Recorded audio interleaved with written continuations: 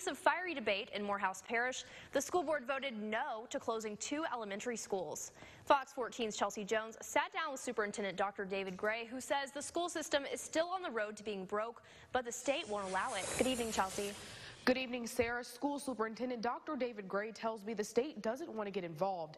It prefers the school board find its own solution. One man is suing to give the community a seat at the table.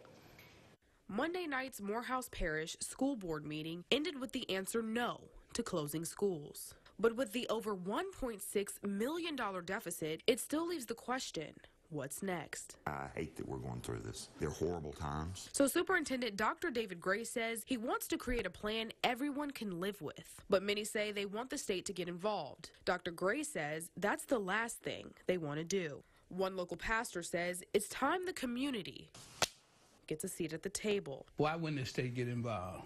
The state over education. So he filed a lawsuit asking that the board, the community, and the state come up with a plan together for the best interest of students. We have two plans we need to develop. We have a short term plan we need to take care of to get through the school year. We need to establish that.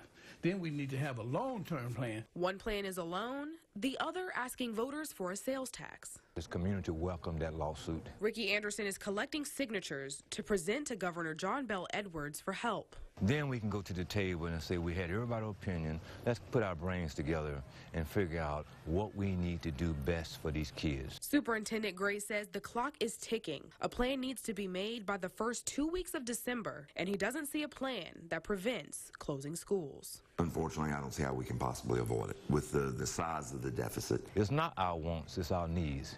And that's what we should be focused on. I think we're going to get through this. I think we're going to be fine. As opposed to talking about dollars and cents, we can talk about letter grades and we can talk about kids performing in academics. Dr. Gray says the board attorney is aware of the lawsuit and is advising him what to do along the way. Live in the studio, Chelsea Jones, Fox 14 News.